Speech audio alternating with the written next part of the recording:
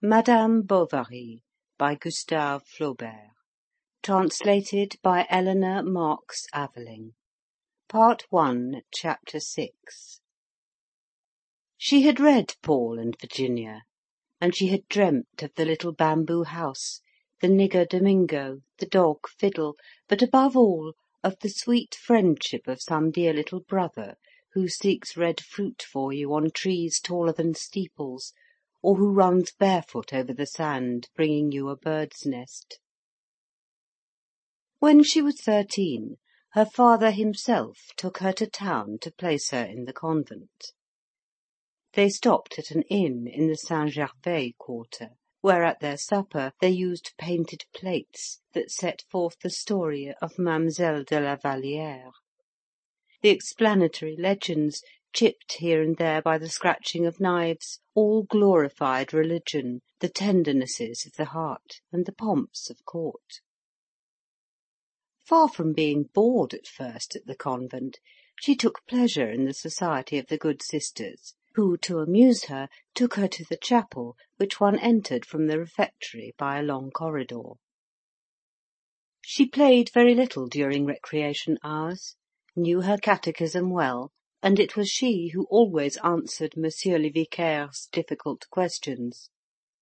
Living thus, without ever leaving the warm atmosphere of the class rooms, and amid these pale faced women wearing rosaries with brass crosses, she was softly lulled by the mystic languor exhaled in the perfumes of the altar, the freshness of the holy water, and the lights of the tapers. Instead of attending to mass, she looked at the pious vignette with their azure borders in her book, and she loved the sick lamb, the Sacred Heart pierced with sharp arrows, or the poor Jesus sinking beneath the cross he carries. She tried, by way of mortification, to eat nothing a whole day. She puzzled her head to find some vow to fulfil. When she went to confession, she invented little sins in order that she might stay there longer, kneeling in the shadow, her hands joined, her face against the grating beneath the whispering of the priest. The comparisons of betrothed, husband, celestial lover, and eternal marriage that recur in sermons stirred within her soul depths of unexpected sweetness. In the evening, before prayers, there was some religious reading in the study. On week nights it was some abstract of sacred history, or the lectures of the Abbe Frayssinous, and on Sundays passages from the Génie du Christianisme as a recreation. How she listened at first to the sonorous lamentations of its romantic melancholies, re echoing through the world and eternity! If her childhood had been spent in the shop parlour of some business quarter, she might perhaps have opened her heart to those lyrical invasions of nature which usually come to us only through translation in books. But she knew the country too well. She knew the lowing of cattle, the milking, the ploughs. Accustomed to calm aspects of life, she turned, on the contrary, to those of excitement. She loved the sea only for the sake of its storms, and the green fields only when broken up by ruins. She wanted to get some personal profit out of things, and she rejected as useless all that did not contribute to the immediate desires of her heart, being of a temperament more sentimental than artistic, looking for emotions, not landscapes. At the convent there was an old maid who came for a week each month to mend the linen. Patronized by the clergy because she belonged to an ancient family of noblemen ruined by the Revolution, she dined in the refectory at the table of the good sisters, and after the meal had a bit of chat with them before going back to her work. The girls often slipped out from the study to go and see her. She knew by heart the love songs of the last century, and sang them in a low voice as she stitched away. She told stories, gave them news, went errands in the town, and on the sly lent the big girls some novel that she always carried in the pockets of her apron, and of which the good lady herself swallowed long chapters in the intervals of her work. They were all love, lovers, sweethearts, persecuted ladies fainting in lonely pavilions, postilions killed at every stage, horses ridden to death on every page, sombre forests, heartaches, vows, sobs, tears and kisses, little skiffs by moonlight, nightingales in shady groves, gentlemen brave as lions, gentle as lambs, virtuous as no one ever was, always well dressed and weeping like fountains. For six months, then, Emma, at fifteen years of age, made her hands dirty with books from old lending libraries. Through Walter Scott, later on, she fell in love with historical events, dreamed of old chests, guard rooms, and minstrels. She would have liked to live in some old manor house, like those long-waisted chatelaines, who, in the shade of pointed arches, spent their days leaning on the stone, chin in hand, watching a cavalier with white plume galloping on his black horse from the distant fields. At this time she had a cult for Mary Stuart, and enthusiastic veneration for illustrious or unhappy women. Joan of Arc, Heloise, Agnès Sorel, the beautiful Ferronnière, and Clémence Isaure stood out to her like comets in the dark immensity of heaven, where also were seen, lost in shadow and all unconnected, Saint Louis with his oak, the dying Bayard, some cruelties of Louis XI, a little of St. Bartholomew's Day, the plume of the Béarnais, and always the remembrance of the plates painted in honour of Louis XIV.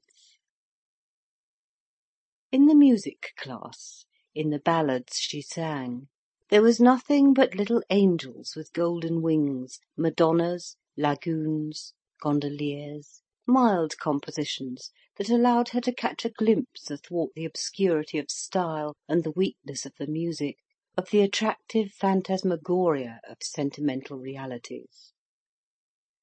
Some of her companions brought keepsakes, given them as New Year's gifts, to the convent.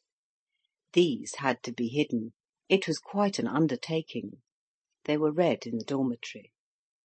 Delicately handling the beautiful satin bindings, Emma looked with dazzled eyes at the names of the unknown authors, who had signed their verses for the most part as counts or viscounts. She trembled as she blew back the tissue paper over the engraving, and saw it folded in two and fall gently against the page. Here, behind the balustrade of a balcony, was a young man in a short cloak, holding in his arms a young girl in a white dress wearing an alms bag at her belt. Or there were nameless portraits of English ladies with fair curls, who looked at you from under their round straw hats, with their large clear eyes.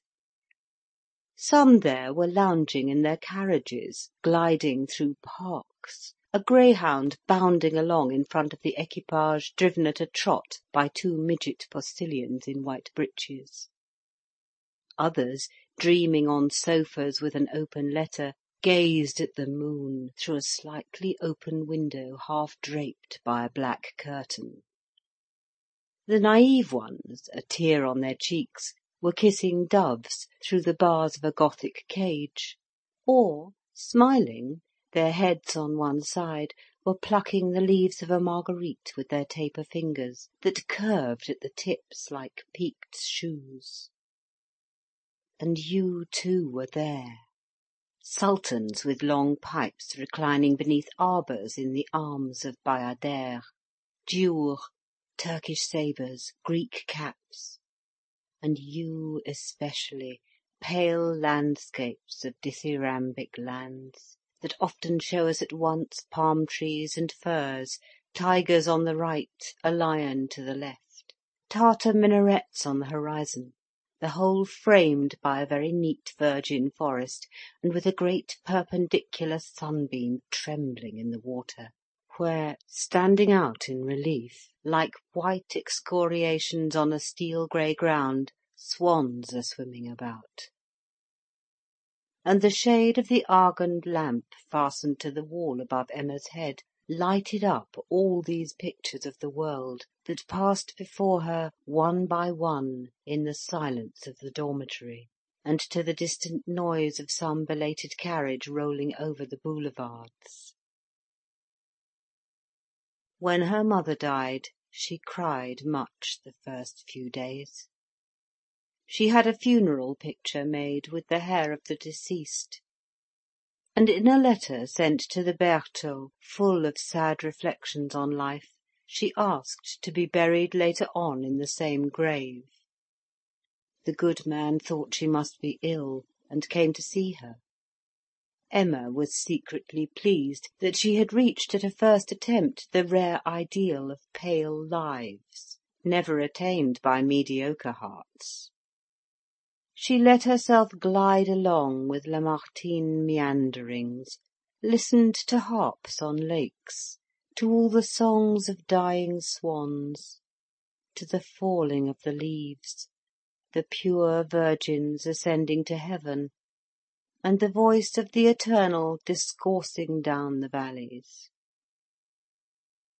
She wearied of it, would not confess it, continued from habit, and at last was surprised to feel herself soothed, and with no more sadness at heart than wrinkles on her brow.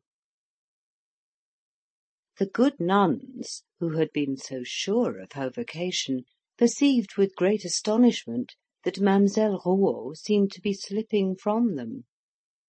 They had indeed been so lavish to her of prayers, retreats, novenas, and sermons, they had so often preached the respect due to saints and martyrs, and given so much good advice as to the modesty of the body and the salvation of her soul, that she did as tightly reined horses; she pulled up short, and the bit slipped from her teeth.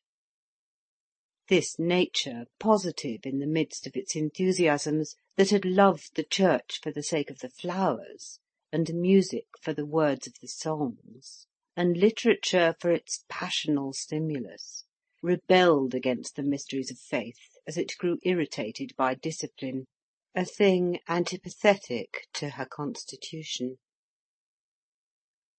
When her father took her from school, no one was sorry to see her go. The Lady Superior even thought that she had latterly been somewhat irreverent to the community. Emma, at home once more, first took pleasure in looking after the servants, then grew disgusted with the country, and missed her convent. When Charles came to the Bertaux for the first time, she thought herself quite disillusioned, with nothing more to learn, and nothing more to feel. But the uneasiness of her new position or perhaps the disturbance caused by the presence of this man, had sufficed to make her believe that she at last felt that wondrous passion which till then, like a great bird with rose-coloured wings, hung in the splendour of the skies of poesy. And now she could not think that the calm in which she lived was the happiness she had dreamed. End of Part One, Chapter Six. Recording by Ruth Golding.